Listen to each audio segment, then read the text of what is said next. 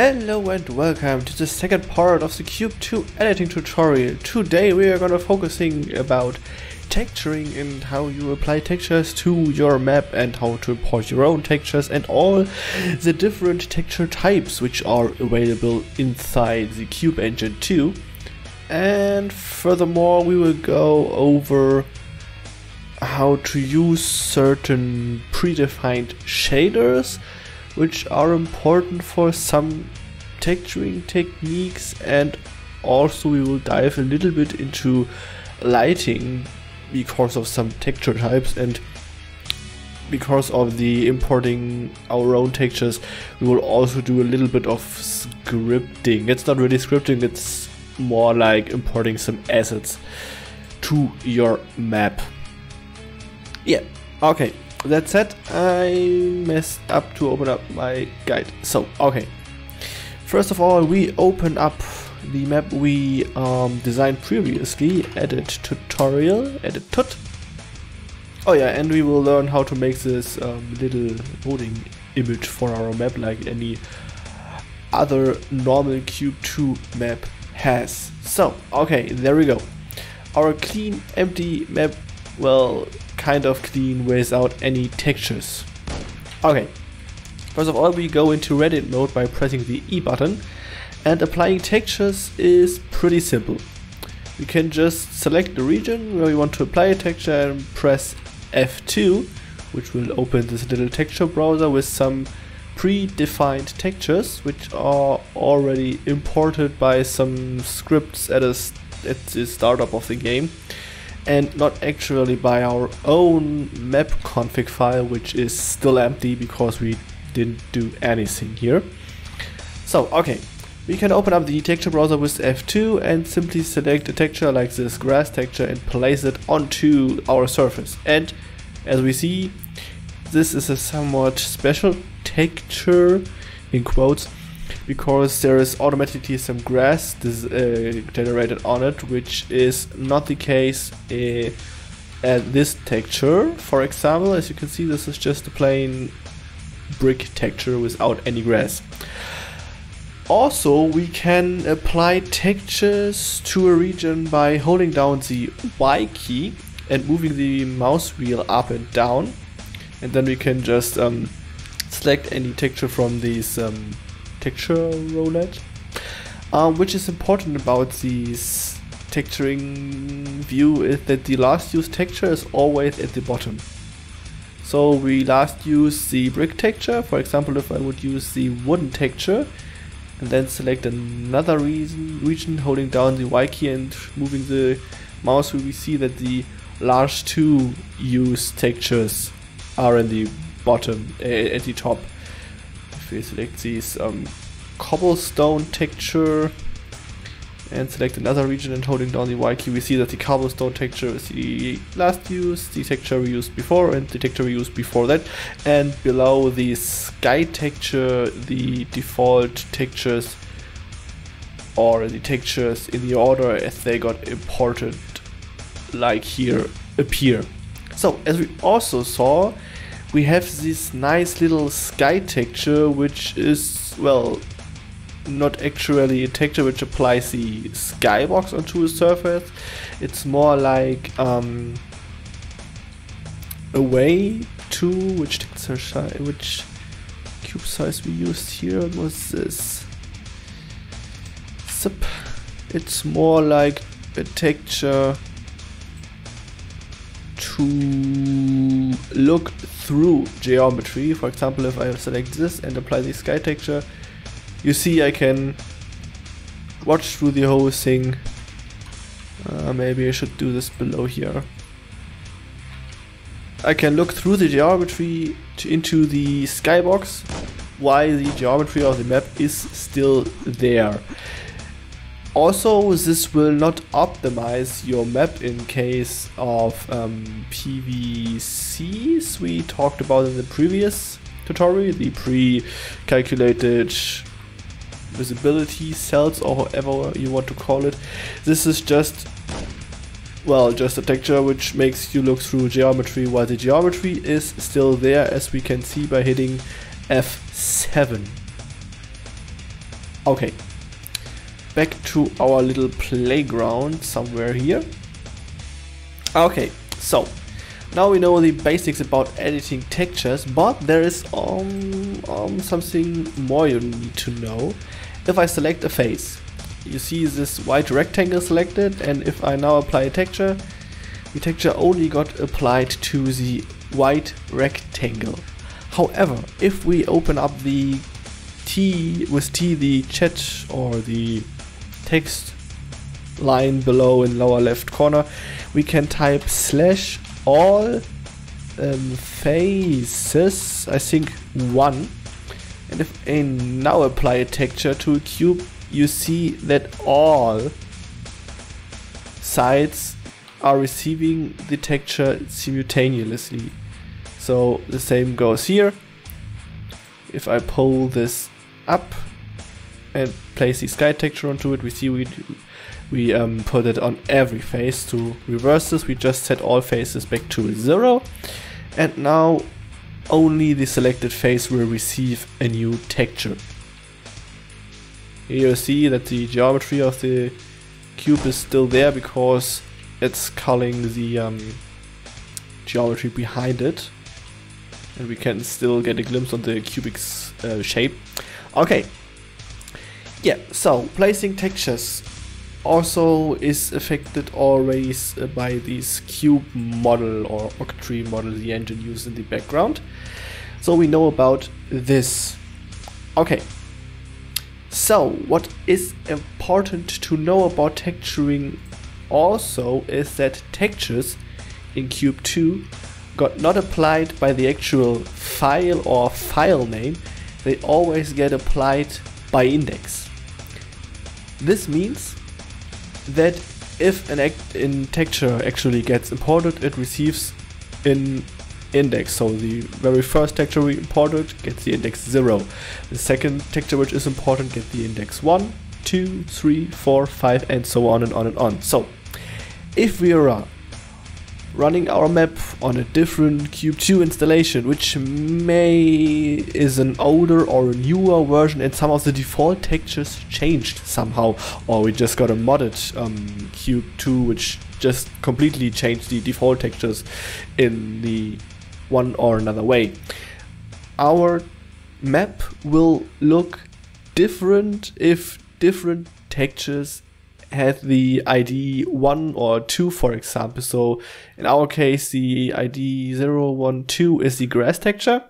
And if somebody has changed the default textures which are loaded somewhat and then the grass texture became something rocky or an arid texture however everything which we textured as grass and also with our autograss on top of it will be get these um, other texture. To prevent uh, to prevent um, our map from looking different on different machines with different texture sets or whatever, we can make sure that our map always works with our own textures. By this we need to open up the notepad or the script editor by pressing F6 and with the command texture reset I teasered in the previous part, I think, we can actually save, execute it, we will reset every texture. So we got all, everywhere we got this texture, arrow texture, except of our sky texture, because um, the sky texture is somewhat special. Because the very first texture which got imported and receives the index 0 is always considered the sky texture. Okay? What does this mean? Well, for this we will quickly import our first own texture. I have some over here. Um, the texture import command always works relative from the package location of either your home folder on Linux it is your home folder um, .sauerbraten slash packages uh, or the Cube2 installation. Packages or on Windows. I think it's somewhere located in app data or local low or roaming. Depends on the Windows version. On XP it's whatever, on 7 it's somewhere else, on Windows 10 is it somewhere totally different. So uh, I'm not sure you should look up look it up where the default um, user home directory of your cube installation is on your system. I think on Mac it is somewhat somewhat um, similar to this one, but I'm not sure how it is done on Mac. So also on, on in that case, please um, do a quick Google search or DuckDuckGo search, whatever you prefer, and find out where your actual home folder is for your game. So okay, importing our own texture is as easy as resetting our textures by opening up our um, script editor with F6. We can just type the command texture. Then we need to define a type of texture. There are different types of textures I teased previously. Then the actual file name.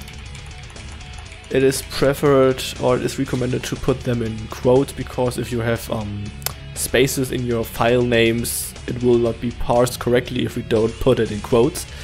And then we do define, I need to take a quick look at my notes. Then we need to define the actual rotation. So by the at, the at the rotation we have one, two, three, six different rotations which are possible, which are always rotated by 90 degrees clockwise. So if I put the rotation to, for example, to 0, it will be no rotation at all. If I put it to 1, it will be rotated uh, by 90 degrees clockwise, and 2 is 180 degrees.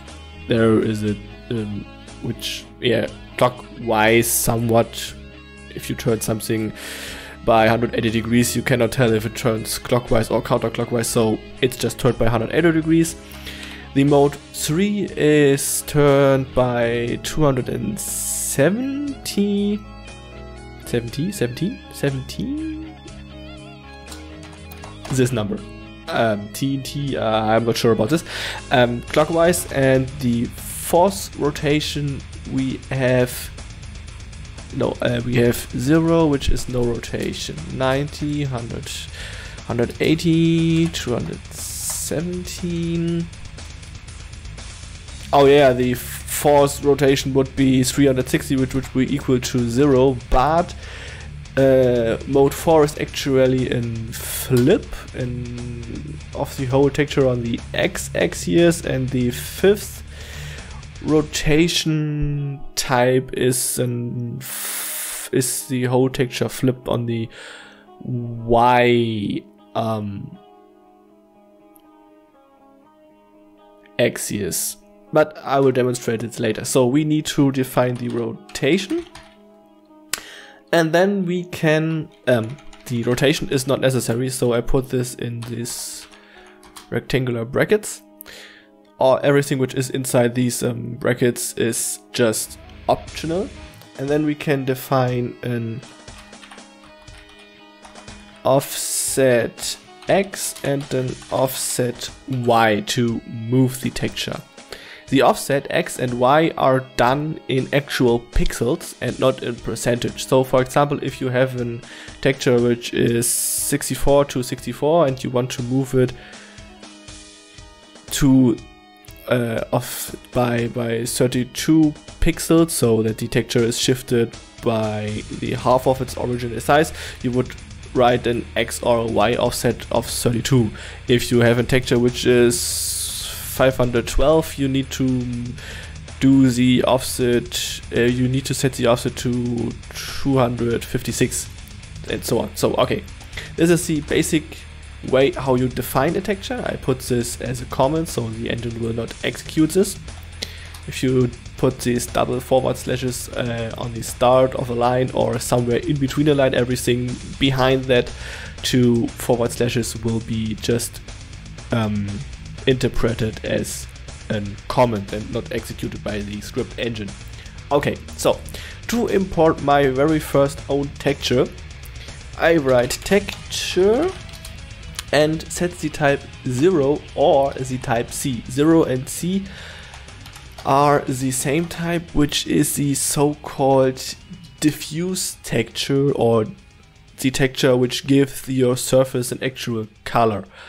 So you can think of it as a color texture, which is that's why it's called C, I assume. So the type C is the color texture. Then we go relative to our package folder. So in my case, it is textures, and then I will import the arrow JPEG, which is an upwards facing arrow, which is 128 to 128. So I would, I need to write texture slash arrow dot jpeg. And the rest is optional so I don't need to write anything here so I just save and execute the thing.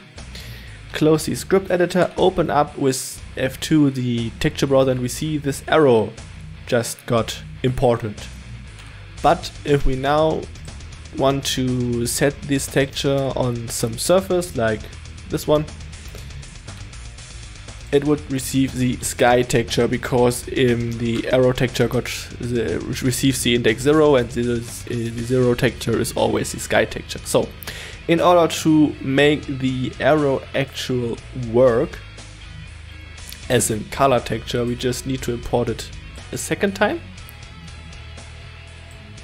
We copy the whole thing, new line, paste it, save and execute. And now we see everything which previously had the um, index 1 applied. So the default cube texture which was built out of these grayish cubes are now these upward facing arrows as you can see.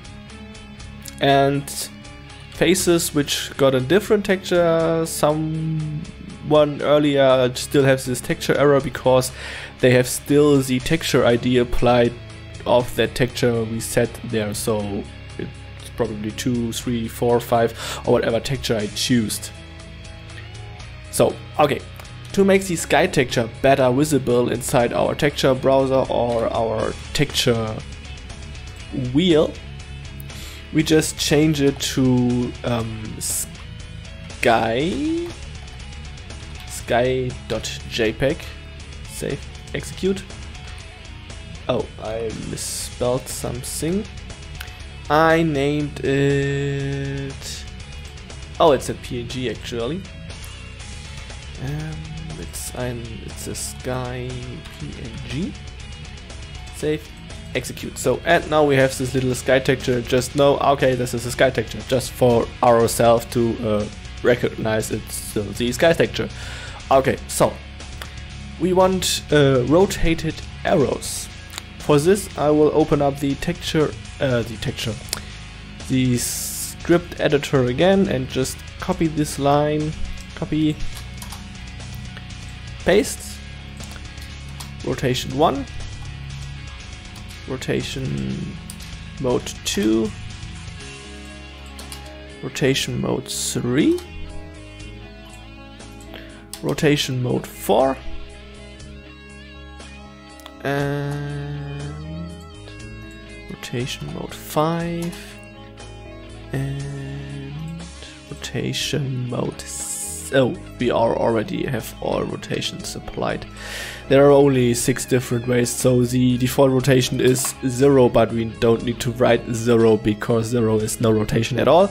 It's just the default layout. So okay Save, execute. Okay, we just saw that these faces received also our cube, uh, our arrow texture, which is not rotated yet. I don't, ah, because it was one of those, I assume. So we see we have the first imported arrow, with, uh, which is rotation zero, which is facing up.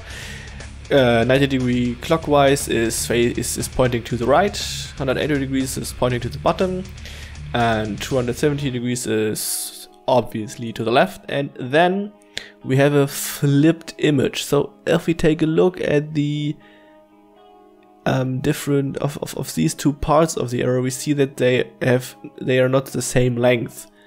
So the left part of this arrow is a little bit longer than the right part, and here we got the opposite um, behavior. While this is just the whole texture flipped to the bottom, and somewhat the mirrored image of the 180 degrees rotated arrow. As you can see, the long part is here on the right and here is the long part on the left. Okay, so for better visual, for better visibility, I will just apply the first arrow texture here. The second arrow texture here. The fourth arrow texture here. the next arrow texture here. So we have up, left, down, right. And then just simply the two mirrored. So, okay. Because having these wonderful upwards facing texture applied on any default um, surface is somewhat annoying, I will change the first loaded texture to texture slash C color texture slash grass dot jpeg. Save, execute, and I messed. Oh, textures. I always forget the S. Save, execute. So, okay, so our default texture is just these um, green grass texture with no autograss as we had earlier. So, okay, so applying the texture. So the texture upward facing texture is missing. Okay, now I need to place them all over again. Because we changed the texture indices.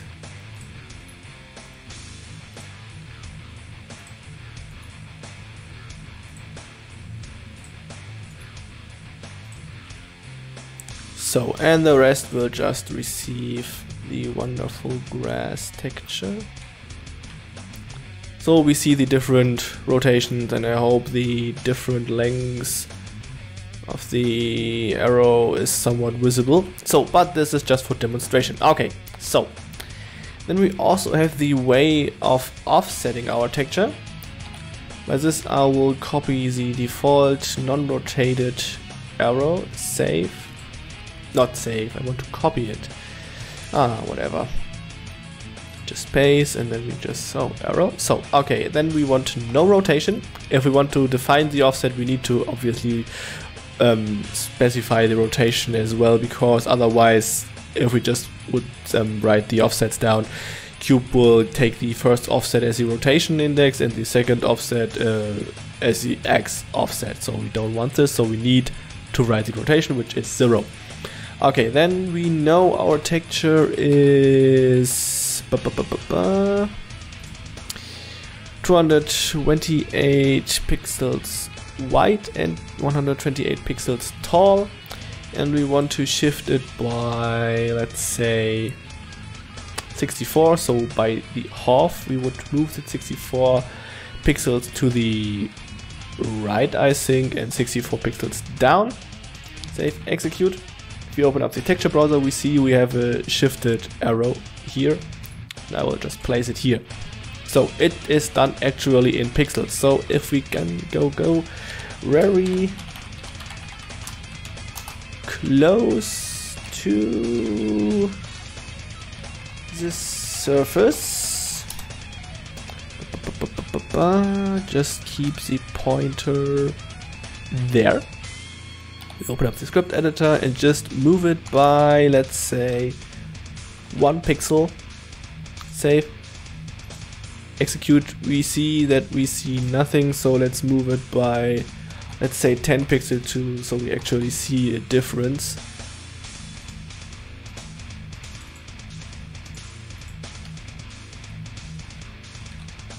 Ah, okay. Um, if we just change the offset, we just need um, Cube 2 to reload the textures actually.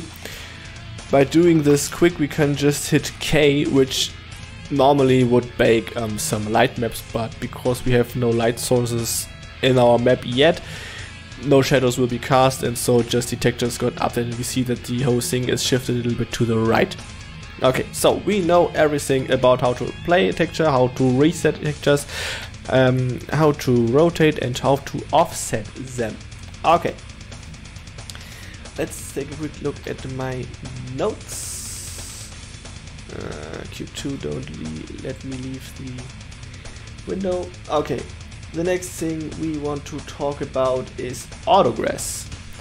So that our um, grass texture will receive grass as previously. So autograss means that we tell the engine which grass texture needs to be placed on top of our texture or in other words every upwards facing face which has this grass texture will receive this autograss texture.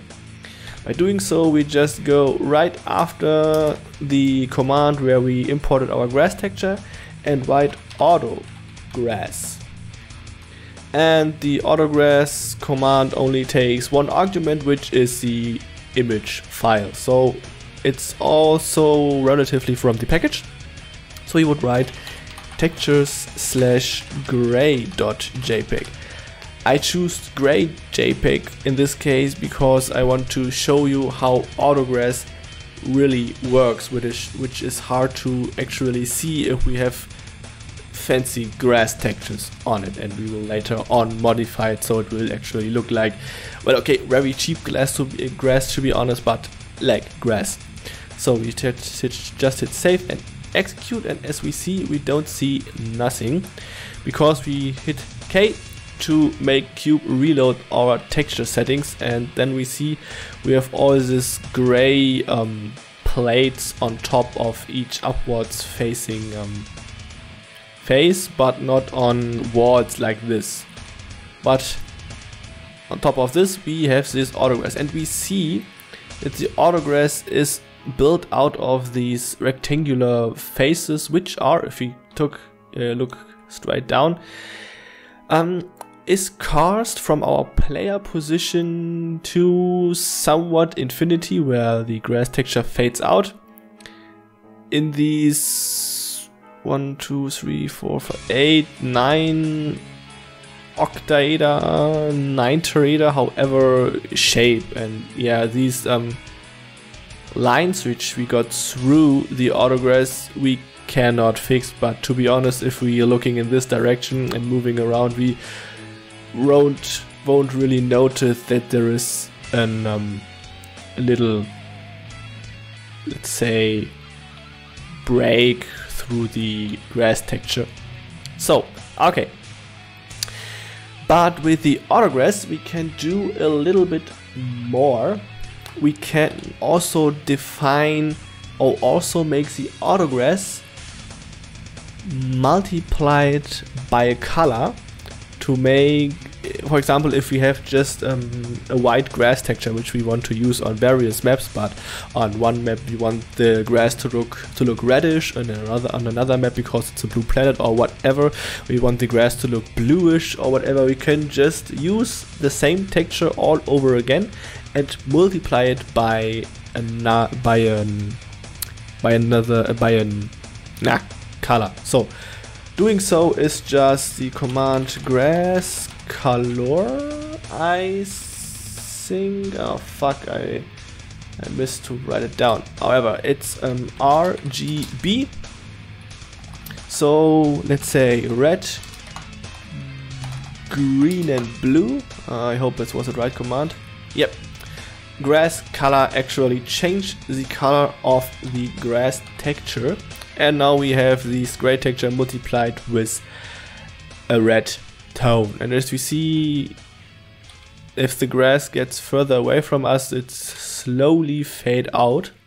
So I suggest to place the or to choose a grass color which more or less fits the actual grass texture or, or underlying texture you're placing the autograss on because otherwise it just would look like this and if you look into the distance we have this red shimmer around us and this does not look really nice to be honest. So okay.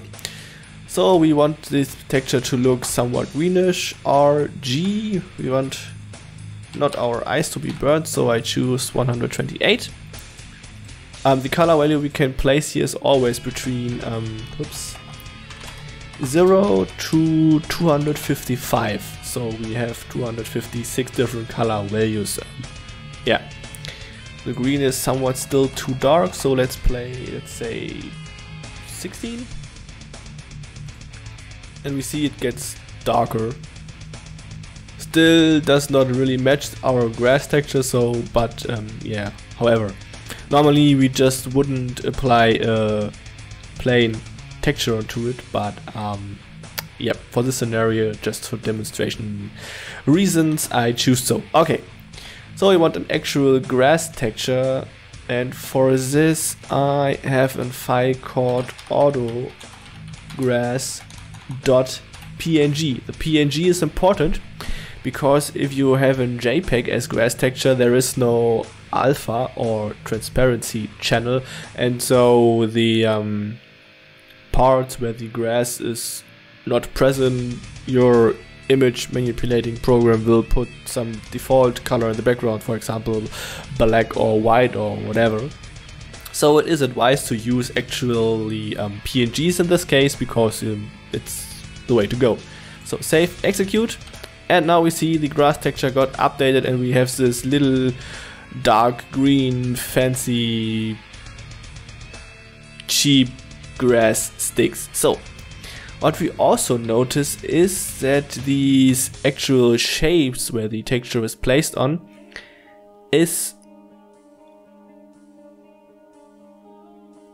No, the image is not cropped. For I initially thought uh, that this image will be cropped to fit this um, rectangular and not this cubic size because the actual grass uh, grass texture a quick take a quick look no autograss 2 we don't want this um, it has a resolution from 1024 to 1024 and so it's rectangular but we are only seeing this part. But the image is just scaled down and just placed in an array between each other so we have just this grass texture repeated repeated repeated repeated. But uh, it will it do the task. So okay since my grass texture already has a color I don't need to change the color so I can go back to nothing. And it has this okay no forget it. It's it's ugly. I, I, I my eyes it hurts it hurts so much. Please stop it. So okay. A darker green tone looks a lot more, it looks a lot better. Okay. And also we can change the actual alpha value of our um, grass texture. If for some reason we want the grass just look to lot uh, looking a look, if we just want for whatever reason our grass to look more transparent and not so opaque as right now, we can just use the command grass alpha and place a floating point value between 0 and 1. 0 means there is um, no alpha at all. Oh no, the other way around. 0 means there is 100% alpha, so uh, the alpha channel is ch set to the maximum. And 1 says that the Oh, we, see, we, we need to think of that command in the reverse way. If we set the grass alpha to 1, it tells that the visibility of the texture is 1 and here the visibility of the texture is 0 so it is not shown at all but in this case we can just uh, leave the grass texture be and I'm not sure if the engine still renders these grass things on the surface but we just don't see it so it would be just a waste of resources so if you want to turn the grass um, alpha to 0, just leave it be. So we turn it to 0.5. So we have a half translucent grass texture as we can see here. Hmm? I think this looks not so bad after all, even if it's a little bit confusing that the grass is half transparent. But if you wanted to to do so, you know, you just you now know how to do so. So, as we can see above here, um, Vortex set map var grass color blah to blah blah blah. Um, we see that there is an well in general grass color value. Um, this means if we import another autograss texture, for example, on top of the first arrow, um, autograss texture slash grade dot jpeg, save, execute, hit K to reload the textures.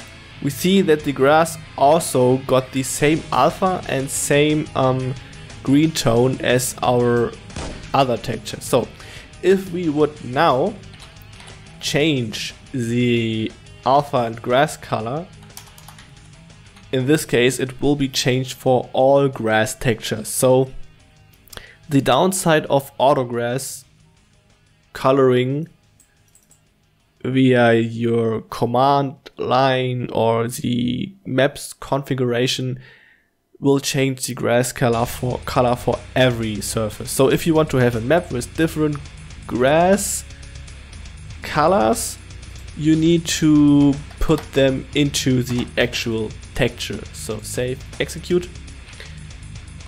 You now see we have the green default grass texture and these grayish half translucent grass texture. So this way you can make the texture look different on different surfaces if you want to have multiple different regions with different colors of grass on your map for whatever reason. So, okay. So much about autograss. Okay, the next part on our list is um, basic shading. We will just use default shaders inside the engine and we will not write our own GLSL shaders simply because first I don't know how. Second, I have not much experience in writing my own GLSL shaders at all, even if I should, but I don't. okay, so shaders. Why do we care about shaders?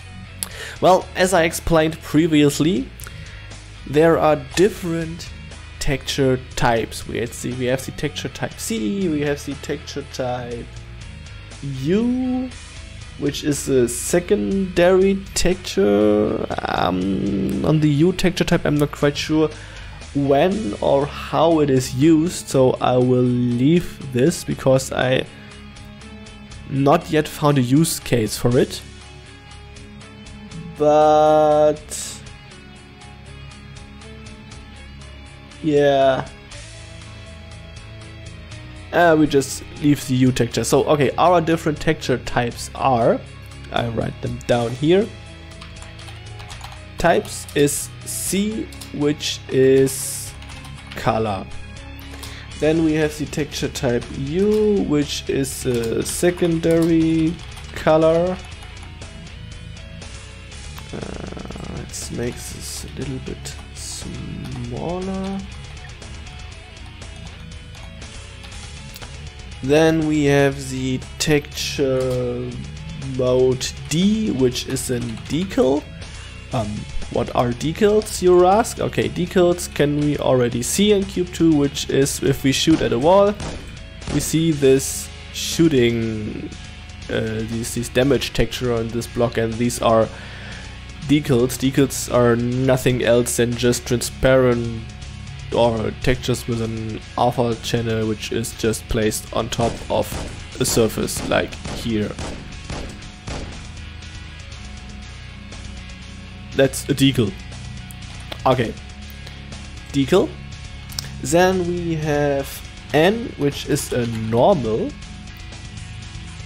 Um, normals are used for faking light behavior on top surfaces. Um, for this I prepared a little blender scene as you can see here. I have these whoops.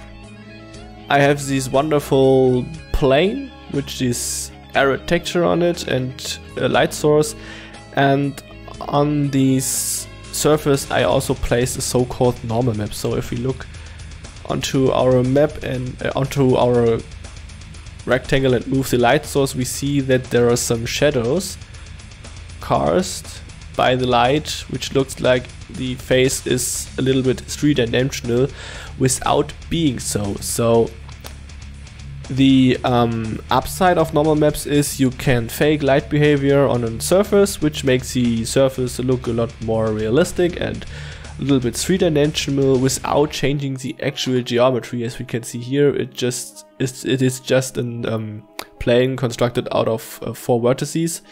I can move them individually, and the whole thing will, will be deformed.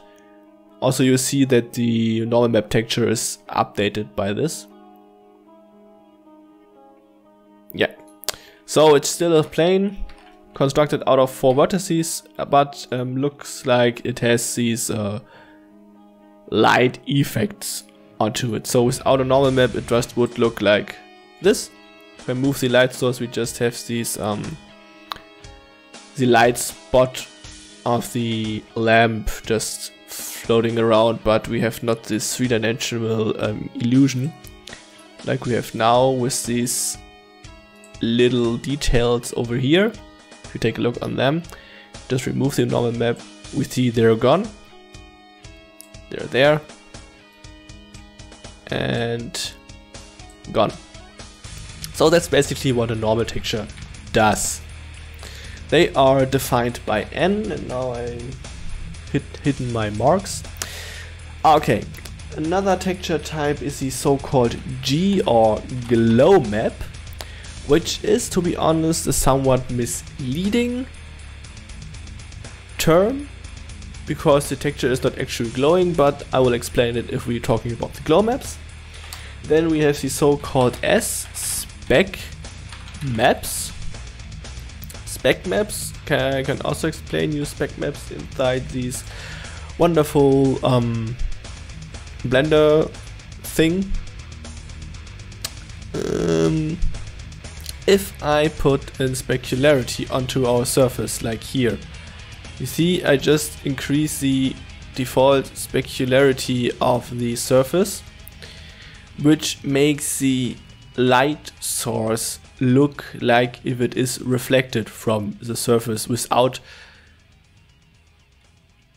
really being so and we see that the normal map already affects how these um, specularity is um, emitted from our surface. But specularity is not actual reflection. So um, I can also demonstrate by placing a cube. You see we have this cube, but the cube is not reflected by the surface of this image, uh, of this plane. Um, screen restrictions are on. So if I want this thing to be reflected, I would do something like uh, where is it?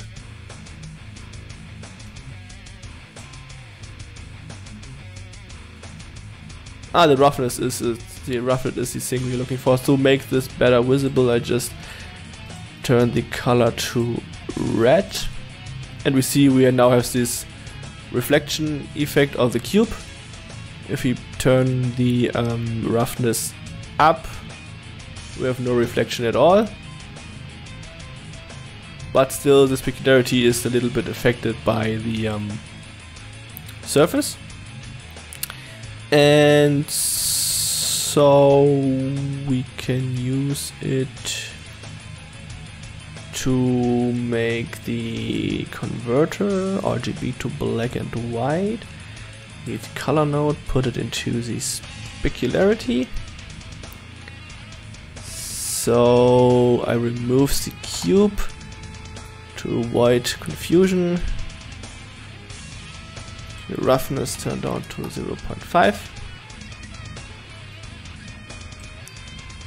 So what these um, specularity map does, it tells the engine where these hell, uh, this is hell, these light light blobs are um, stronger and where they're not so strong. So if we have a surface like this that's um, edges look like a, like they were a little bit sharper than the valleys or the um, deeper regions of this texture and so we can just um, make the specularity be affected by the normal map or if we don't want to have normal maps we can still simulate this specularity effect so that the specularity is not um, always the same.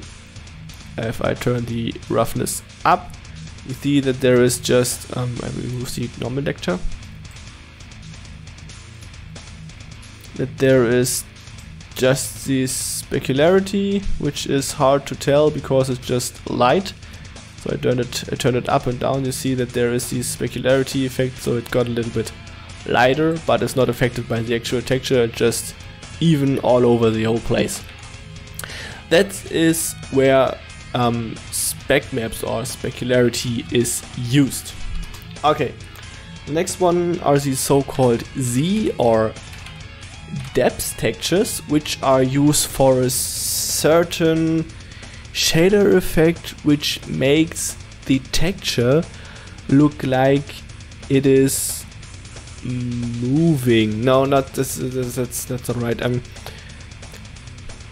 while normal maps only fakes the simulation of a light or how the light is um, reflected on top of a surface, the depth maps or the parallax effect is it is called parallax mapping is used to fake in depths of the surface. So you have the feeling like like you're looking actually on a three-dimensional surface because the texture changed in the way you're looking at it. So um, it's, it's hard to tell. So for this I we'll just do a really really cheap modeling here.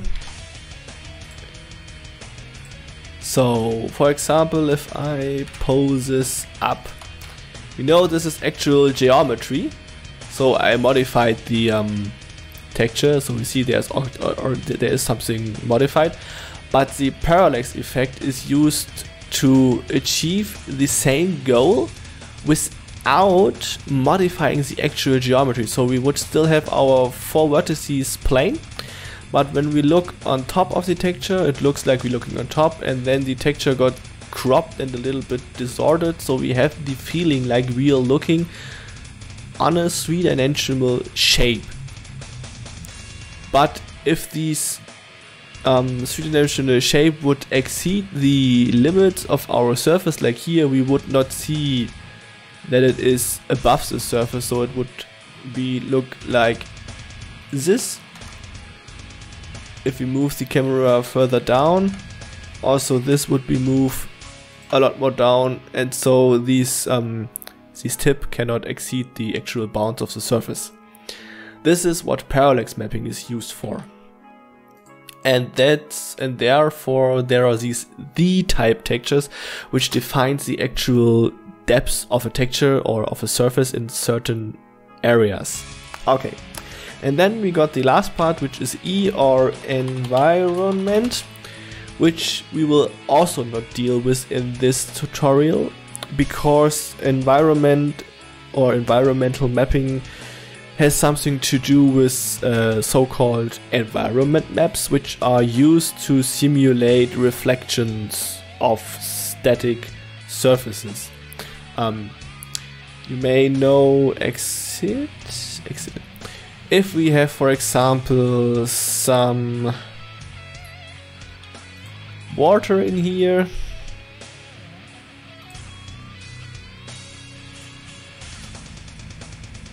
um, material, just water we have we can actually see that the map is reflecting inside this uh, water shape. But um, as you also might know that dynamic objects, so moving player models, for example, um,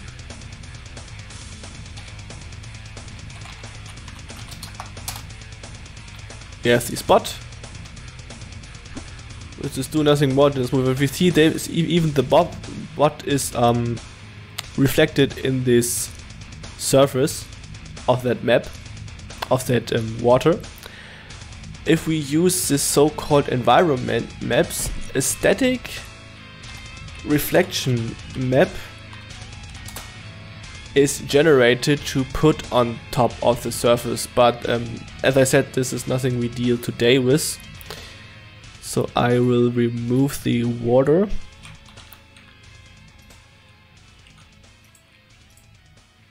because this is nothing we need today. But so, okay, with these uh, so-called environment textures, we can override generated environment maps by the engine.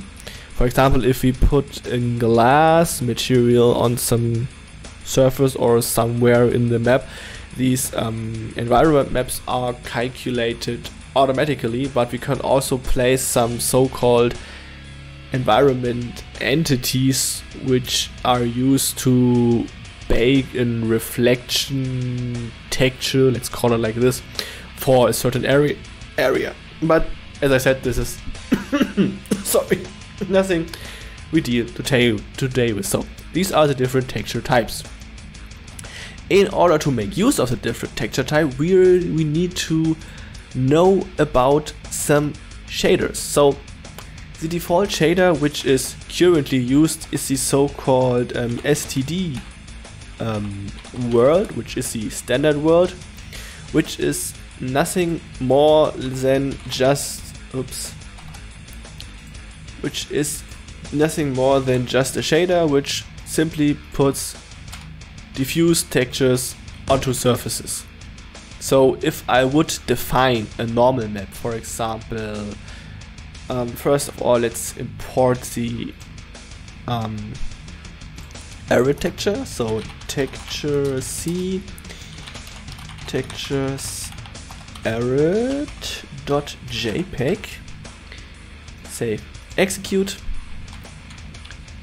Um, let's place it on top of this.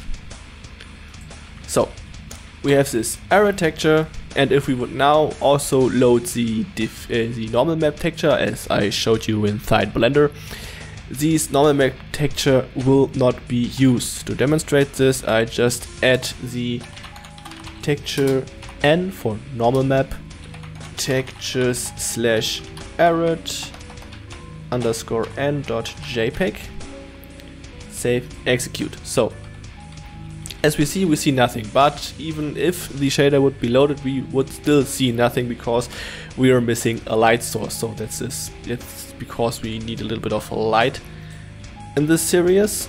So I move this a little bit up. Hit K to bake light maps. With um, L you can toggle the um, full bright mode. So textures are shown textures are not uh, shadow textures shown shadow textures not shown.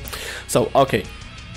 Move this here recalculates the light and we see there's still no normal map effect and also there is no specularity and such and yeah we have just this um, light bulb which is just emitting some light even though that we have imported the arid texture. I just show you how the normal texture looks if we wouldn't use N for this. Oops. It's did I misspelled? Arid and uh, you, here you see how the arid texture looks. But I'm somehow confused. Oh, it's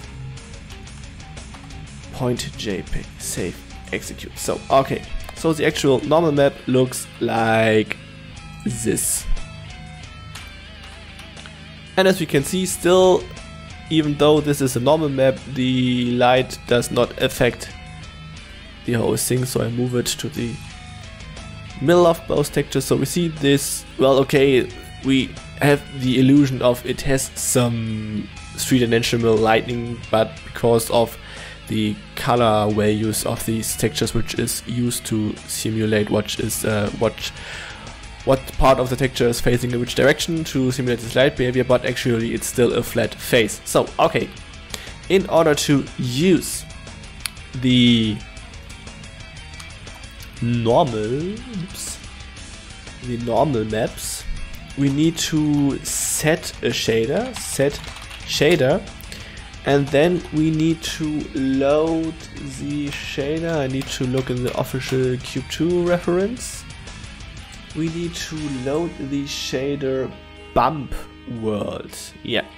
In Cube, normal maps are called bump maps, which is correct. It's which is also a correct term. Normal map bump mapping is somewhat the same. I'm not aware of any difference, so I set this back to n. Save, execute, calculate the whole thing, and now we see we have finally this three-dimensional lighting effect.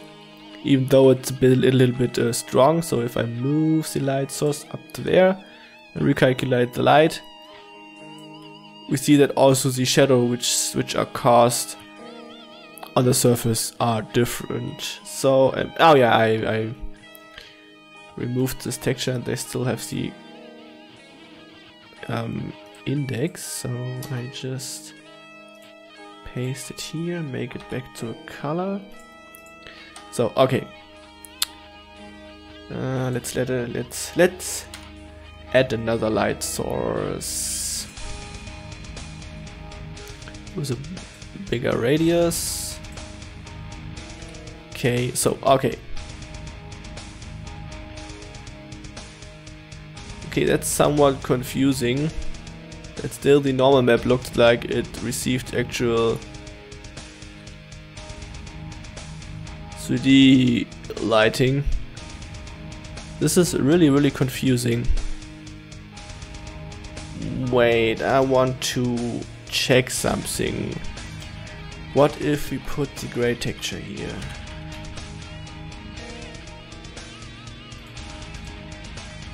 Oh, okay, that's good to know. Okay, the texture got scaled up. Okay. Ha. Okay, I wasn't aware of this. If you define a normal texture right after is, is a color texture, this normal texture is used for any other following texture we defined which is... Nah, not really what we want. But um, it's got to know. So if you have somewhat confused uh, normal maps, it might be because you have some normal maps from previous textures applied still. Okay, so good to know. I wasn't aware of this. Okay, however, the next shader I want to demonstrate to you is the so-called um, so-called bump spec world, which is a combination of the standard shader, which colors the surface, of the bump texture, which makes this three-dimensional lighting effect, and this specularity effect we talked about earlier. The bump spec world, I just copy the whole thing. No, I don't. I only those two. Copy. Paste. So bump. Whoopsala. Spec world. Save. Execute. So we apply the texture here, which is this one. Hit K see that we now have this little specularity effect which isn't visible right now because the light source is not very nearby. So okay, if we now move around the surface we see these little light dots appear. And if for some reason you find the specularity effect a little bit too low, you have also the um, option to modify certain shader values for certain shaders. Um, so for this we will just bring up the official document. Put it here. That went not really well. So, okay. Here we got a little table of all the different shaders Cube 2 know. We have the standard world, which is the default light map world shader, which just plays a color onto the surface, which has no shader parameters and just only uses the texture slot C, so color. We have this decal world, I, I showed you the decals, which uses C and D, um, I will show you later on how we use this one. And then we got the bump world, which uses C and N, we already used, and then we have this bump uh, spec world, which is a combination of the specularity thing, and we see that it has something called spec scale, a shader parameter called spec, spec scale for the red, green, and blue light channel. Um, so in order to modify the spec scale of a shader, we just simply go over into our script editor and say set shader param, then in quotes we you we, we type spec scale and then we need to define an R scale, G scale and RGB scale. So if I put for example 1, 0, 0 here, we would scale it, the range is um, still 0 to 255.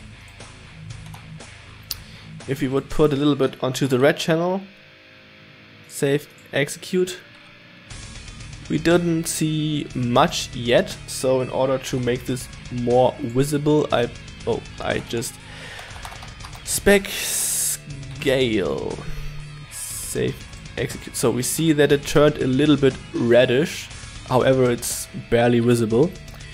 But if we turn this for example up to 255, save execute, we have this clearly visible red specularity effect of this um, light source. And as we see, the specularity effect only is done on the on, on surfaces which has these specularity maps and uses the spec as uh, the spec world shader. Is there we have no, bump spec world, spec glow, spec, okay, specularity maps always. Ah, there's a bump spec map world where we can put a special specularity map onto our surface. So by default, the um, standard bump spec world will use the value of your normal map to determine where it needs to place the specularity or where to where on, on which parts of the texture the, spec the specularity is more intense than in other parts. And if we use these um, bump spec map spec map world same as above we have these s channels so we can define the specularity values by a texture we applied which is just a grayscale texture for this. So um, I show you a little something. So you already know that, that our maps look like this.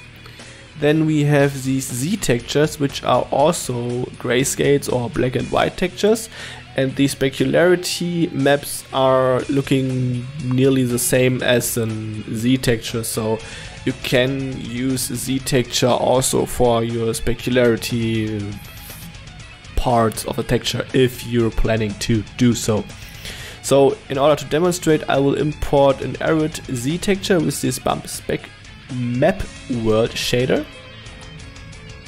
So we will copy the whole thing, copy, paste, so bump spec map world. So we need the C, we need the N, and then we need the Z texture. So Z, Z, the spec scale we put to, let's say, red, green to see that, that are the different textures execute. So, okay, I select this one and select my last texture, which has now this wonderful green specularity, which looks completely different Well, okay, now I'm confused. No, because I um, used the Z, not an S slot for this. My bad. Save, execute. So, okay. So now we see that the specularity looks a little bit different compared to the one we have here. So if we move, so if, if you look at this, we have these um, gaps we have around the certain tiles of the texture, which has no specularity at all, why the, let's call them plateaus or whatever, have this green spec scale. So, and here we also got some time, well okay, because the normal map is pretty much the same as the um, Z texture, the difference is not so clearly visible, so I will use the, uh, how did I call it, the file? Z2, it's called Z2, not 2Z. Z2, save, execute. Uh, I'm still not happy with the result, but um, I hope you still see the real difference here. Okay, so, but now we talked about uh, enough about um, normal mapping and specularity mapping and now I want to show you the decals. For this I will import, for this we will load the set shader decal world and then we need um, diffuse or in color texture which is our texture C texture slash gray dot jpeg for better visibility. And then we need a texture D texture slash um, how did I call the file? Is it just decal? It's just decal, which are some scratch. Um, most of these textures I just uh, copied from the Cube 2 default installation decal.png. Also here, for decal textures it is advised to use a PNG texture, otherwise it would not make sense to put a decal texture to another texture if there is no alpha channel and so the underlying texture would not be visible at all, so we could just use the D texture as a color texture. So, okay. Um, close this, dip gray. Okay, so we see that this is very scaled up is something I forgot to um, explain earlier, to be honest. Um, if we take a closer look on the actual size of my gray texture, wherever it is, gray, we see that it is 1022 to 1022, while the arid texture is 156 to 156. So the actual resolution of your texture file um,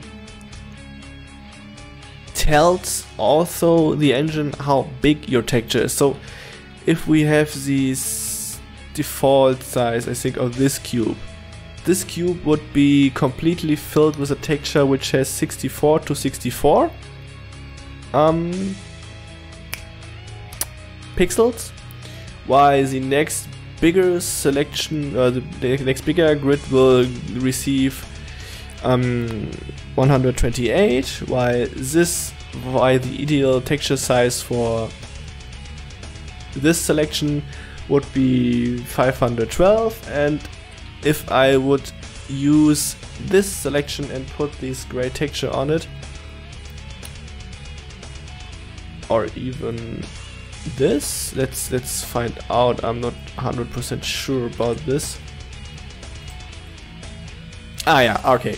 So if we have a texture which is 1024 to 1024, you need at least have this selection grid size to make it fully visible. So this is 512, 256, 128, 64.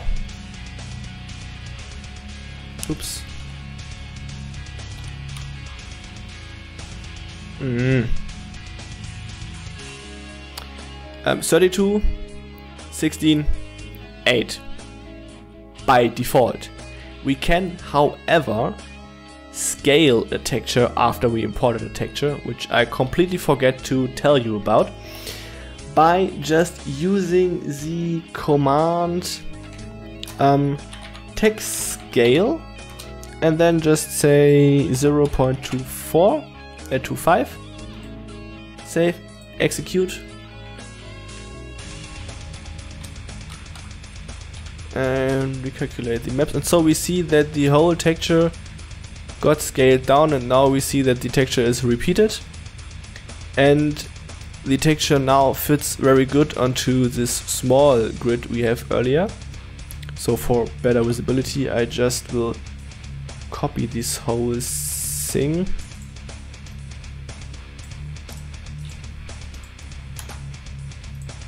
and just scale it by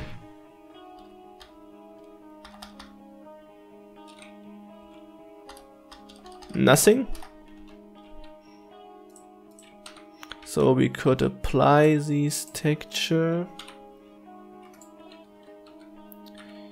And we see that the actual size of the texture is different. So this texture is the is, is a quarter of its original size. No, it, it's in in eighths, I think. While this is original size, and so we can um, scale a texture down after we imported this report imported it.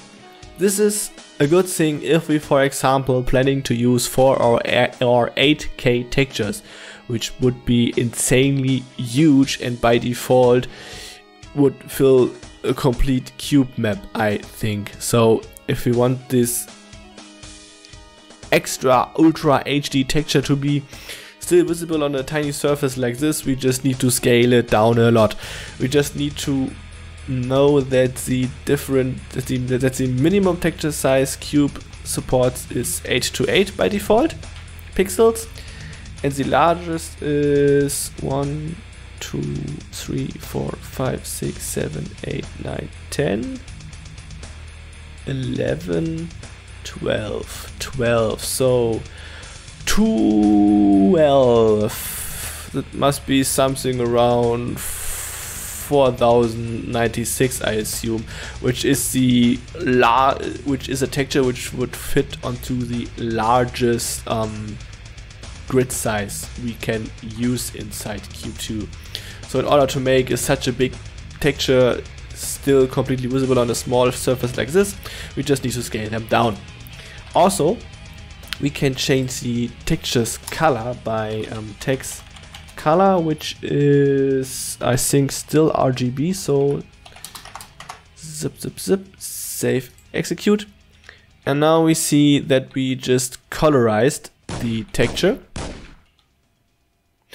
And we can also use, let's take a quick look into my guide.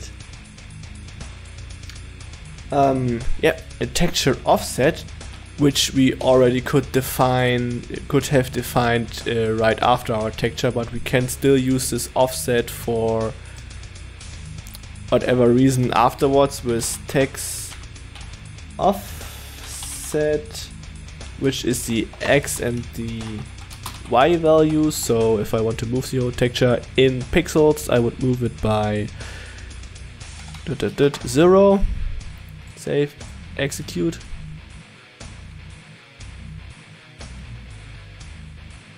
I'm not sure if there's any difference visible because um, yeah the texture just got shifted and we don't have a clear um, shape on the texture like we did here. So um, also as you already noticed maybe here the um, texture which we defined as the color texture also determines how big every other texture is which is applied onto this texture. So if we, like in this case, have a diffuse texture which is a lot bigger than the decal texture, the decal texture will be scaled up until it fits the size of um, the texture we use. So that's why the decal texture is so extremely ugly and here it looks a lot better because the decal texture is near its original size. So yeah, you just need to keep in mind that the C texture always defines the scale of any afterwards defined texture, which we can also see here because this um, gray texture uses the same bump map as our average texture and we see that we only see a sub part of the texture which could be somewhere around here but not the whole normal map which is applied here or here or here. This is also important to know about texturing. Okay, so um, that said, we can use this texture offset to move the texture afterwards. Then we have the text color and also we can use a text alpha. I yet not know how it is used. Maybe I need to try this. The alpha makes sense if we have an texture u defined texture slash arrow.jpg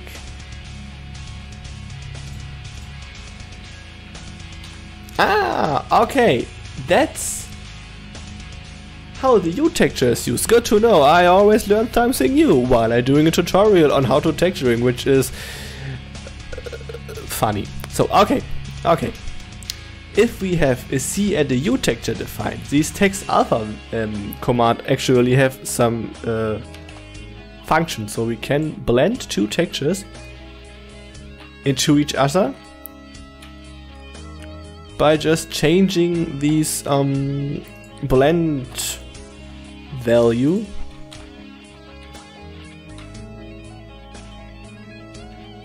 Okay, I'm confused right now. Takes alpha 1?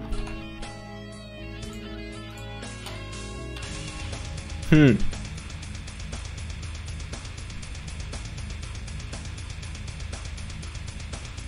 I'm confused. Okay, that was not what I thought it was. Is there some shader which uses a U slot? There's actually no shader listed which uses the U slot. So okay, we still end up without knowing what the actual texture U slot does. So I just leave it here. So the text alpha is also a command. I cannot clearly tell how this is used. And so we end up just using the um, default gray texture with our decals. Okay, sorry, I thought I had found out. Okay. So we have the text scroll. Oh yeah, text scroll. Haha. text scroll is something really, really, really funny. And for this, I want to have this. So let's import um, set shader std world and then texture texture slash what funny texture do we have to which we can use let's use let's use the cloud texture I for just cloud jpeg cloud.png, uh, sorry. Save, execute. So we now have these wonderful cloud tech.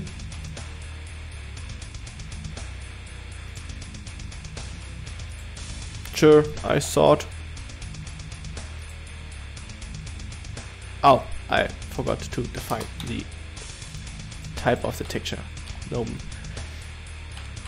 So, uh, well, set shader std world textures cloud.png. What? What did I do just wrong? This is uncool. Okay, then we just go with the error texture, however. Uh, rich.jpg Maybe it's, it that Cube cannot use uh, PNGs as diffuse textures because there is no alpha value which can be used at all. So, okay. Text scroll. If we define the text scroll, is it spelled correctly? Text scroll offset x offset 0, command, save, execute.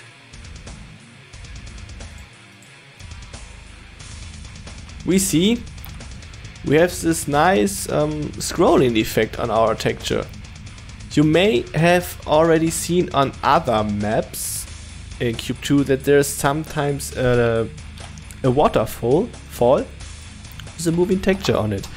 So for example, if I would set this text scroll to 0, 1, save, execute, we see that the texture is um, moving up, or if we put this to minus 1, the texture is moving down. This is how these waterfalls or uh, quicksand textures are um, faked by using this text scroll command inside your um, editor, which is pretty funny feature, I think. Um, yeah. So yeah, you know what the text scroll is. So okay. Furthermore, all these text, text scale, text color, text offset, text scroll, text alpha, whatever um, modifications can also be done without changing the texture values. So for example, if I just for whatever reason decided, oh, I think this texture would be cool if it looked a little, lot more reddish, I could hit T while I have this region selected, like this, hit T. I can use the command V color, this time it's the American English color, not the British color, which is sometimes a little bit confusing, and now I can define these values and make the textures look red without changing the actual texture in our editor because this is texture 1 we defined uh, as a second texture right after the sky and we did not use any coloring whatever. Also we can use the um,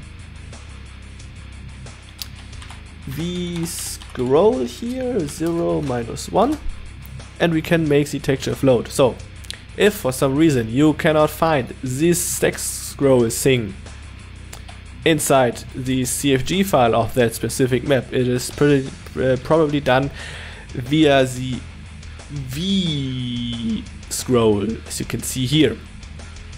Also, we can scale the texture inside the selection with V scale, let's say 0.5. We have scaled the texture down. Here's the original size, here's the new size. Pretty cool, huh? Okay. If we want to get rid of all these V modifications, I will just do them here with these arrows. Um, let's say V scroll 1 0. Yeah, that does that was not the thing I want. So, if we want to get rid of this annoying texture effect, we can just select our region and type slash v um, reset, which will just reset any v modifications we did. Why is it called V modifications? Well, if we disable the shadow maps and go over to our wireframe view, we see that we have all these little squares. So if, for example, I go over to hit um, escape editing and go over to optimize our geometry, Cube will try to um, optimize the map as we explained in the further previous tutorial to make the map built out of as much big as possible um, triangles. So if we have these V modifications done as you can see here, this would be pretty easy optimized by just two triangles because we have always the same texture normally but we haven't um, yeah we the, the engine cannot optimize because the engine need to memorize still which faces or which triangles have the certain texture effect applied. And the V at the beginning of the command tells that the actual vertices are modified, not the texture. So in other words, well, okay, it, it is the texture, but it, it is applied to the vertex we have selected. Um, as I showed you in Blender, and 3D mesh is always built out of these little vertices which define the shape of the um, actual object. And by these V commands we are changing the properties for selected vertices. And those vertices um, make up a face like this. So the engine still needs to memorize which vertices got which special effect applied. And so it cannot optimize it because if it would do an optimization here, some of those settings would be lost. Either the scroll, the color, or the scale would be lost. So for example, if I just say v reset and then hit escape, editing, map, optimize geometry, we see that now the whole thing is optimized out of a very few triangles not like before that we have here a triangle, here another triangle and so on. So with uh, Z, for example, for the we can undo this. Um, the last command we issued or the last 64 commands I think so yeah. Um, let's save the map under edit to texturing. Oh, I had still PVS applied. So, okay. Um, cool. Okay. So we have the basics of texture modifications. Afterwards we import them. We have the basics for these. Oh, I forgot to show you the cool parallax effect. Oh boy, what's in my mind? Um, yeah, the parallax effect. For this we need the so-called set shader parallax world. So we need the arret texture.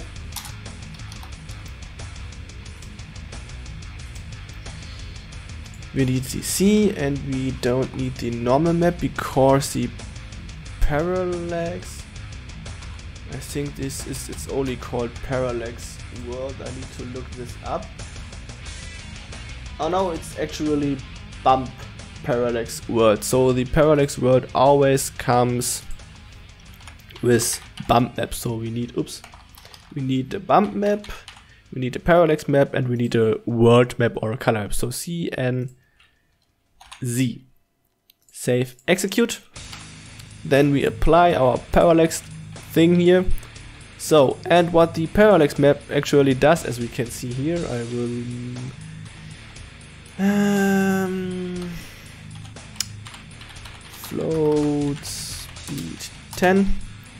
If you go close to the surface and move up, I have this fucking tearing. We see that the actual perspective of the texture changed. So if I'm here on this side, it looks like I'm looking into the texture from this perspective. And from this it looked like I'm looking into it from this perspective. To make this a little bit better visible, I use the Z1 texture, save, execute, which has a stronger alpha value. And so we see if I move above this surface, we have the feeling that the texture actually moves. I hate this tearing. Nvidia, what's wrong with you? What's in your mind? Ah. Options.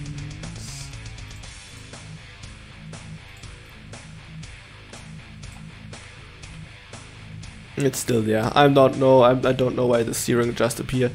So okay, we see we have this parallax effect and tearing, which is not intended. So yeah, that is what parallax mapping actually does. Also says uh, some bump maps. Also we can um, make a bump parallax, a bump spec parallax world, which would apply the specularity effect onto it. And also we can use a bump spec map parallax world, uh, so we can um, make a combination of this thing and the parallax thing, uh, the specularity mapping we did here, and so on. And yeah, for this particular reason, I recommend you just looking up the shader part of the official README. I'll link them down in the description. Okay. So, and the last thing I want to show are the glow maps, where I already said they are somewhat misleading. So set shader glow world. The term glow world or glow map is somewhat misleading. Why? Well, I show you by importing just a glow map. For this I have two textures called arid. This is the default arid texture. Um, texture c texture slash arid.jpg. Then we need the so-called glow texture, so texture g textures slash arid um, underscore red underscore g dot jpg. So save execute. If we open up the texture browser, we see we have the same arid texture like a thousand times before, but with these red lines through it. These let. What the fuck just happened? Oh, um, with these red lines through, which is the so-called glow map. So, okay, we calculate the light. So, um, as we can see, we have the feeling of that the texture is glowing there, but the glowing actually is done by a post-processing effect by the engine, the so-called glare effect. So if I turn this off, you see there is no glowing at all and the texture is just red at certain parts. So, what these um, shader actually does is I need to add another light. Um, as we can see, let's put it somewhere dark.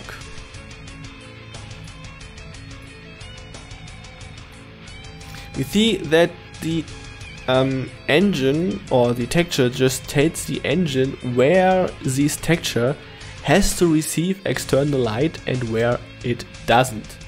So um, if I wouldn't have defined this whole thing with um,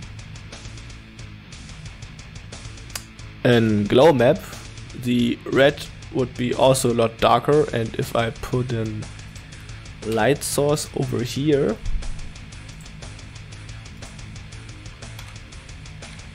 we see that uh, it's, it's, it's, hard to tell because of some optical illusion, but if we move up, we see that the red part of the texture is equally light on each part of the map and it's not glowing at all.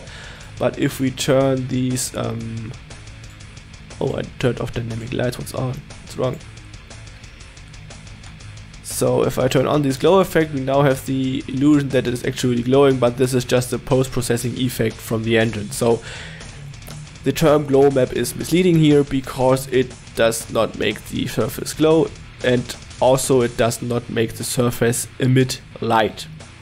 So this means that it just tells the engine where the texture has to receive external light. lighting and where not. So I hope you understand what I want to say, but I hope so, because you are all smart peoples. Okay, so, um, next one. And then we, oh wow, we have still a lot of things to do. Okay, the next one I want to show you is the so-called texture blending. Huh? Hmm? What is texture blending? Well, um, texture blending is used to blend certain textures into another textures. Well, you have to think of texture blending to be something like, I quickly try to demonstrate this by two different textures above each other. So you have to think of texture blending like this you have a bottom, a bottom layer texture and a top layer texture, which is the grass texture in this case. So, and in if you want to do texture blending, you actually dig through the upper texture and make the lower texture visible with a nice blue looking brush where you can paint the map a little bit. And so if for example you want to to to to make a way through the grass, like for example this, by the default, if, if, if you use this um, cubic layout, you have just the option to make these um, hard edges and things. But if you want this whole thing to look a lot more smoother, you can simply use this so-called texture blending technique. But before we can use texture blending, we need to define something inside our script. And this is the first and also the only part I am aware of where it is necessary for us while building the map to know which texture, texture has which index. So to mark this, I just write the texture index of each C texture as a comment at the end. Autograss does not, uh, every C texture does create a new texture slot, every other command does not. So we have one, two, it's autograss, it does not have a texture slot. One, two, three, four, five, six, seven, eight, nine. N does not create a new texture object. This does. This does. This does. This does. And this does. As well as this. As well as this. Sorry, I, need to make this right. Okay, save, execute. So, how we do use texture blending though? Well, to use texture blending is pretty easy. We have two options which are following the name scheme as our um, text commands we use here. So for example, if I want to make this default grass texture we use here for the autograss to be blendable or dig through to one of the area textures I once defined, for example, we choose this uh, green green parallax mapped texture, no, the green specularity mapped texture, which um, is Bumpspec World the texture number 12, we would go over to our grass texture and right after the new line we use the, the command text layer and now we pass the texture slot number of the texture we want to use. So in our case it is the 12. So we use the command text layer 12. Save, execute. Okay, so nothing happened yet. In order to enter the um, texture blending mode, you can um, hit the zero key on your numpad to disable the texture blend mode. You can, with the numpad 1, go into the replace mode, 2 is the dig mode, 3 is the dig mode, digging, you know, and 3 is filling, uh, 4 is invert digging, invert filling, and 6 does not exist. So we have these 1, 2, 3, 4, 5, 4, 5 different options, or we can just hit escape, edit, go over to blend, and here we can just see which mode is active and just select one mode. And we want to use the dig mode. So we see that this blue cursor appears, which is the blend brush we use. We see it still snaps a bit around, but it's okay. We, if we are in the blend mode and now move the mouse wheel, you see that we can choose different um, blend brushes of different size and also different intensity. So if it is very blue like this, we're digging right through the whole thing, like we did here. And it's just like we cut an, um, yeah, just it like we just burned the grass.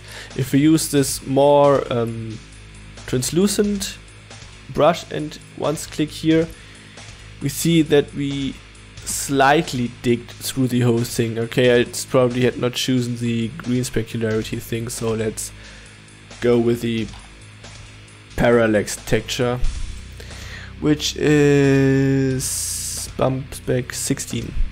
Let's use texture texture 16, which looks a lot better and does not conf has conflict with the grass.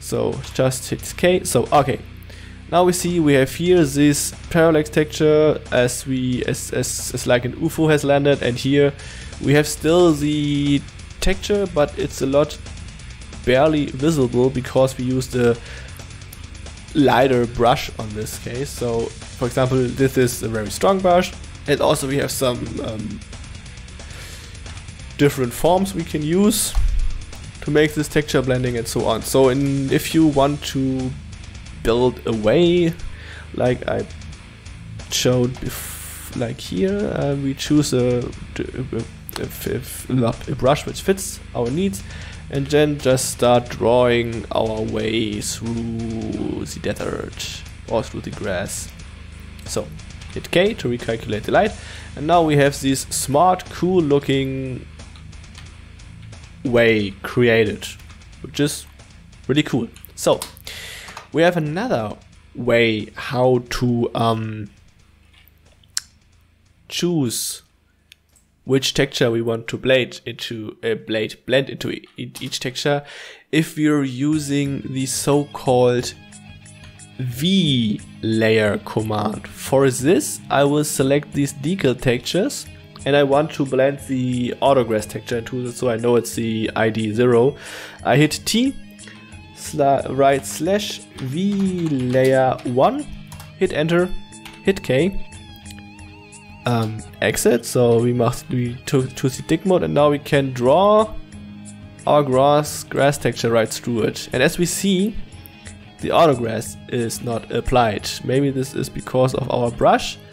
No. Okay, this is also important to know. If our upper texture has autograss, the autograss will be cut off or look like it's faded a little bit out but if the autograss texture is the lower texture we will not have not have any autograss but yeah by this you can just define blendable textures without actually changing them inside your scripting editor but also if I move through the uh, okay. The thing is, the um, grass texture also has a blend texture, so this is this, this, this, so I need to just remove the text layer for once to show you I want to show you. So, okay, we go into dig mode and so if we painting through the edges of the region we selected to be diggable, we see that we cannot brush outside this selection because we have no text layer selected for here so the brushing is uh, well not doing anything. So that's uh, the downside of this way uh, of, of this way of texture blending. So if we hit K so okay. As we also see I uh, painted over the borders from this but the engine in the background still memorized what um, blend value is set on these different surfaces here. So if you have a region where you have messed up your blending and just want to be it removed, you can select it. And then just write the command slash um, clear blend map and hit enter. Oh fuck, this uh, cleared the whole blend map of every thing. Okay, I just uh, destroyed the whole blend maps for everything I said. That was not what I intended to do. So we just do dig again.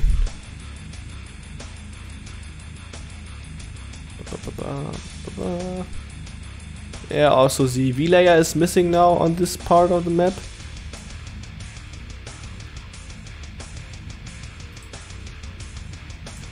So, okay. Then we go back to the non-edit mode, then we choose slash v layer 1 and can draw our texture and pre-calculate the light sources and the shadow map. So yeah, this is how you can do texture blending, which is pretty nice though. Um, yeah, okay. Now we have finally come to the last part, or the pre-last part, which um, is about cloud box and Cloud Layers and Skybox. So the Skybox is what you see around here. If we hit F8, we see that the Skybox is nothing else than just a massive cube around the map, which is moving along with the player. Uh, yeah. That's what a cloud box is. Also, what we see that the cloud box is not affected by the distance fog we may set. So for this I just show you something with, with fog color British English for color. So if you turn the fog color to red, we see that the skybox is not faded into this reddish fog. Just so you know. You can also turn it black, which looks uh, weird. Or turn it back to, I think the default was 60, 60, 69, what it was maybe 64, 64, 64 or something like this. I'm not sure what the default value is, but uh, yeah, you see that the skybox is just not blended into the distance fog. This is just important to know if you set a different skybox and want it to look like the fog matches the actual skybox. So it is advised or I recommend that you choose a distance fog color which matches the accent color of your skybox. So in this case it would be something, yeah, white is okay for a clear coat. So okay, we can change the skybox by hitting escape, going over to editing and skybox and just select a skybox like these predefined skybox we have here. And we're good to go. Hit F5 to save the whole thing. No, I still have PBS. But we can also use our script editor to do so by using the command um, load sky and then we write the file name and then we can also apply a spin.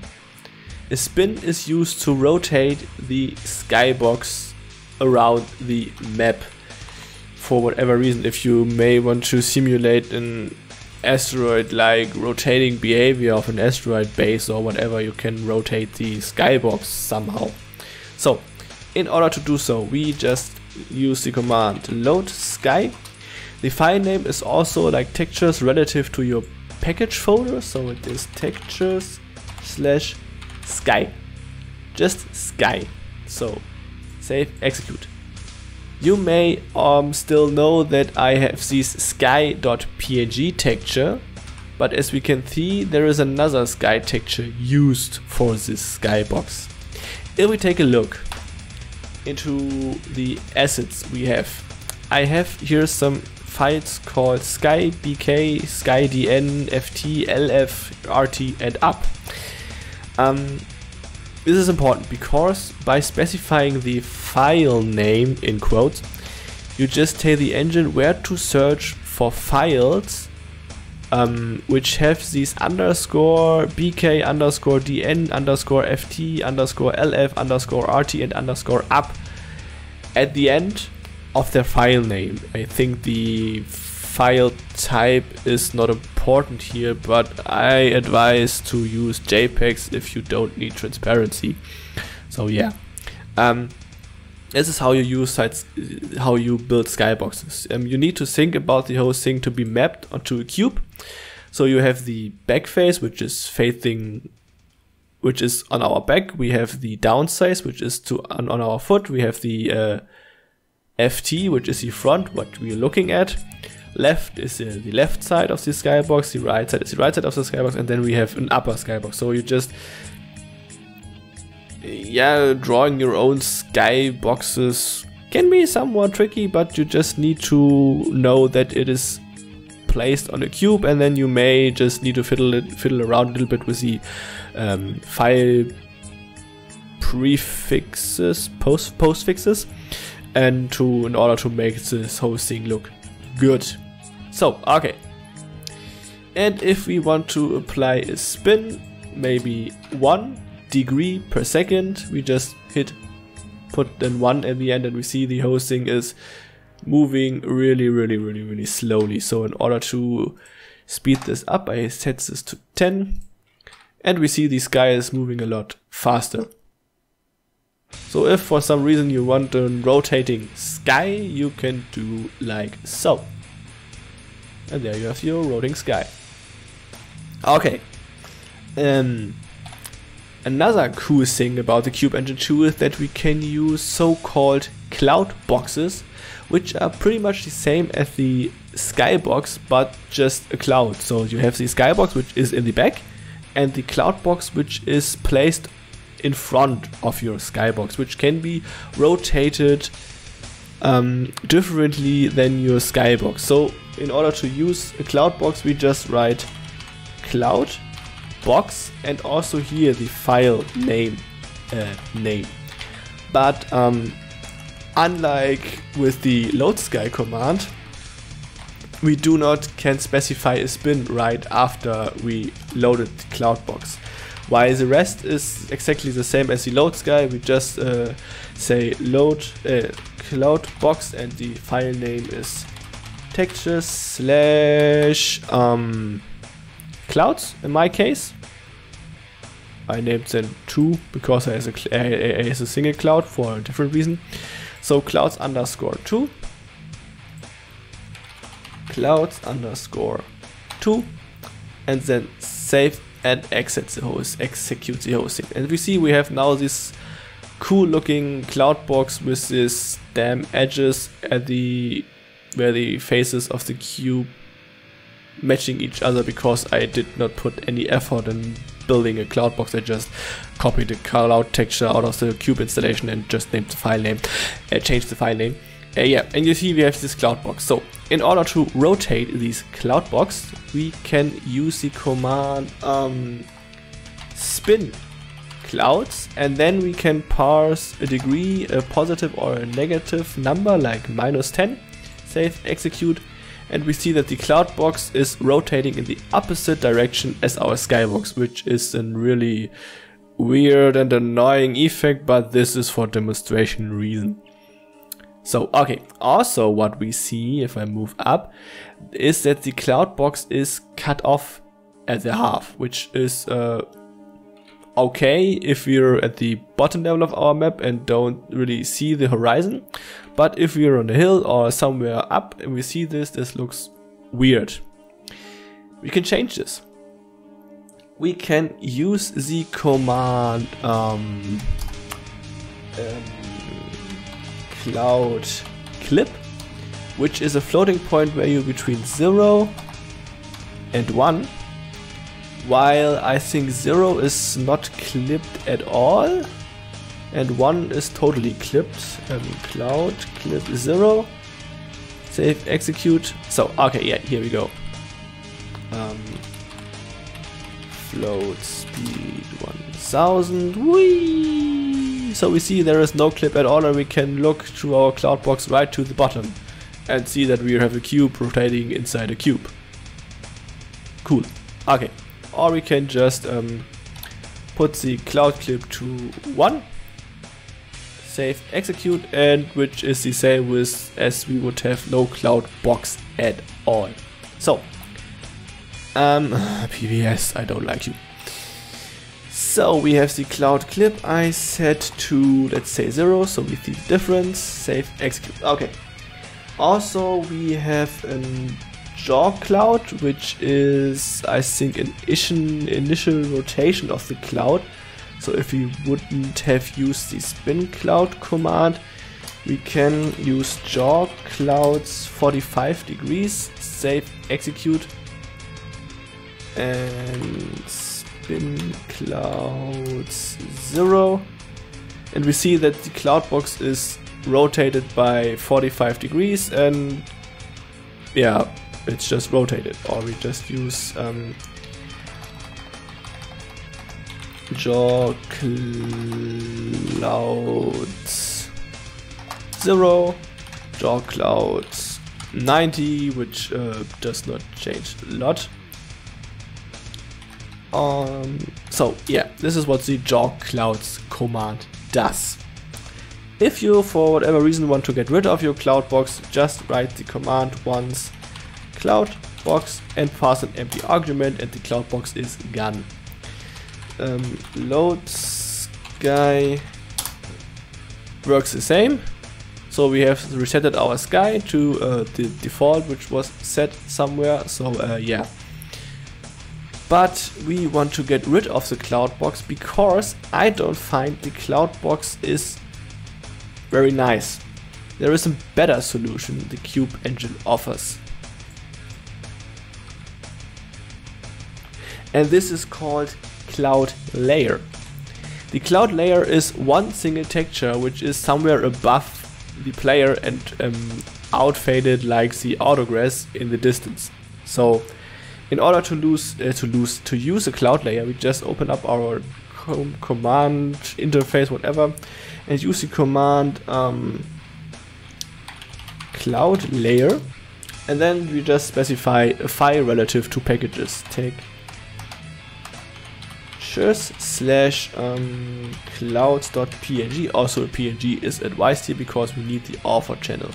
So, and we see I have this cool looking cloud layer on top of the map, and we see it's faded out in the distance. But we can change the um, cloud layer's behavior in various ways. First, we can change the cloud layer's color with um, cloud color British English color and just give an hex value. So 0x is um, to tell the engine that we want now to pass an hexadecimal value, which means we put two values for red, two values for blue, and two values for green.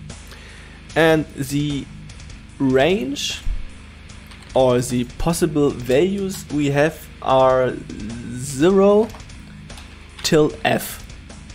So we have well, 0, 1, 2, 3, 4, 5, 6, 7, 8, 9, A, B, C, D, E, F as possible values for R, for the first R or for the second R, for the first B and for the second B and for the first G and for the second G.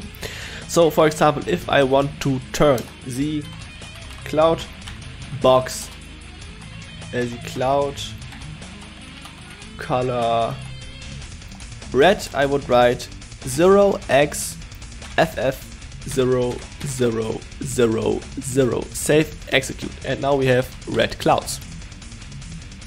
Cool. We can also move or make the cloud box behave like the clouds actually moving. By um, cloud scroll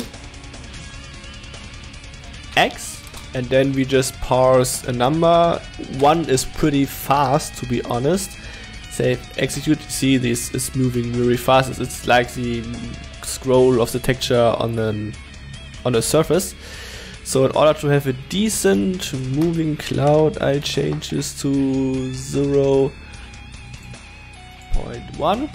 So we have slowly moving clouds, which, which is still pretty fa fast, but it looks a lot better to me. And also we can make it move in the Y direction. Well, cloud scroll Y, let's say 0 0.001.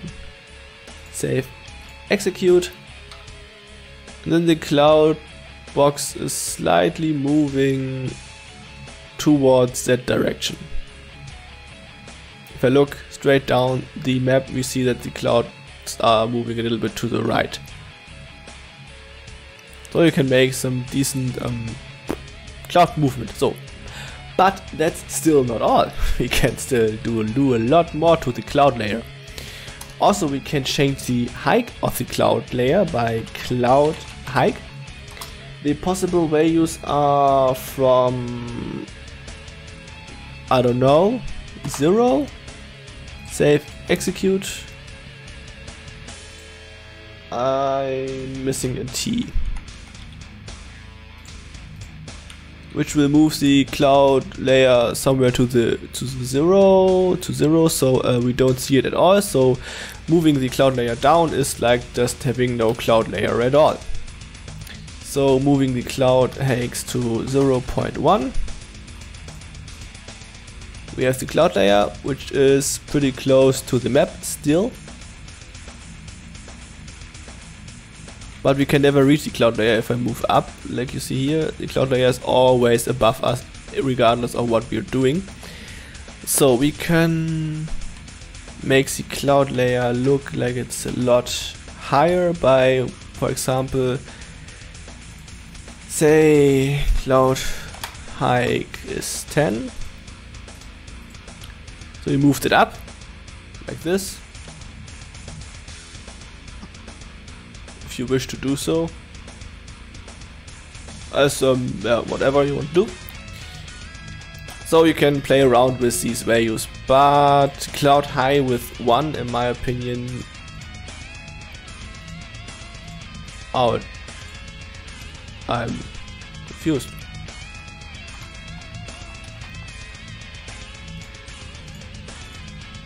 Looks like 0.5 is the default behavior and 0 how close can we get? Oh dear. Now we have a really, really, really deep cloud layer which looks pretty strange to me. So yeah, you can move the cloud layer a little bit around. What the heck am I doing there? I want this to be like this so we moved it a little bit up which is which are pretty flat cloud clouds to be honest.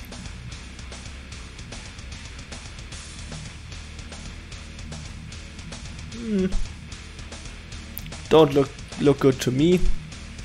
So I move the cloud layer back to 0.1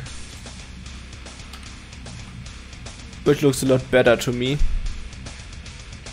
so there we have our cloud layer. Okay, so also we can change the cloud layers alpha. So cloud alpha 0 is like uh, not visible at all. And setting this to 1 is totally visible and choosing one value in between is just make it less or more visible like this one. I like it.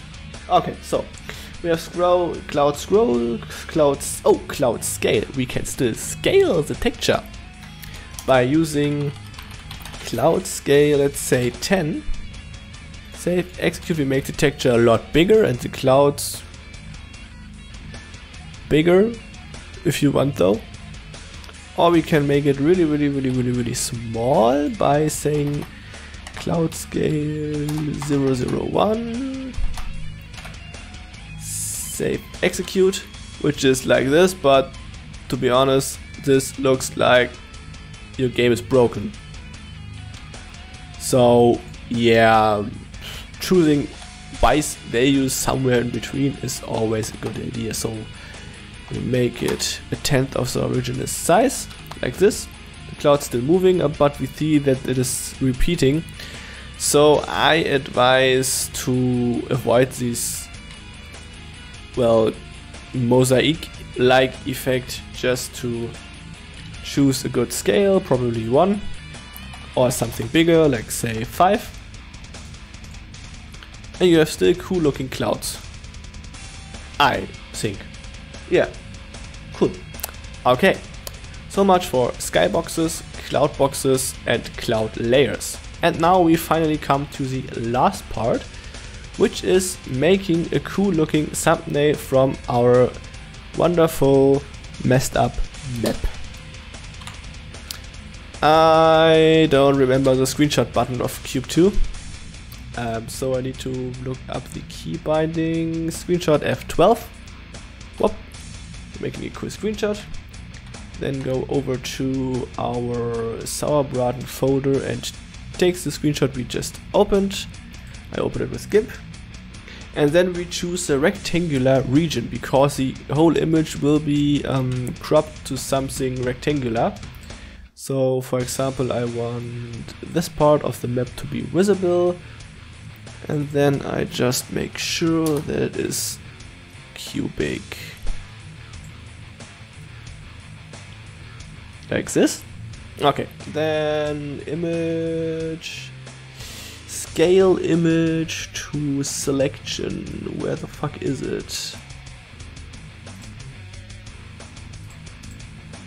Um, so then we export the whole image to packages base where our map is and then we just name our loading image after our map. I did this tutorial previously so there is already texturing JPEG but I was not um, I don't liked the tutorial because I made a lot of mistakes because I was not well enough prepared. So okay, so we just export the image to have the same file name except of the file ending as our map we want to have this. So um, here PBS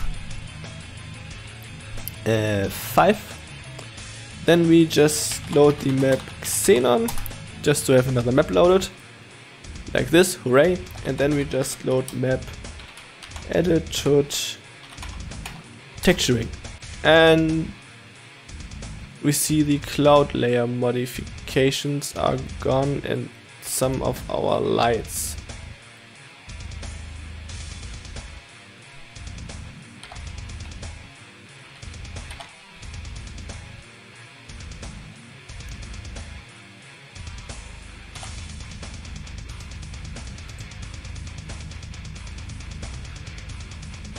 Did I do wrong? Oh, okay. I don't know. So, ah, yeah, yeah here the, the, the Cloudbox is uh, named the same way as the Skybox. So, okay.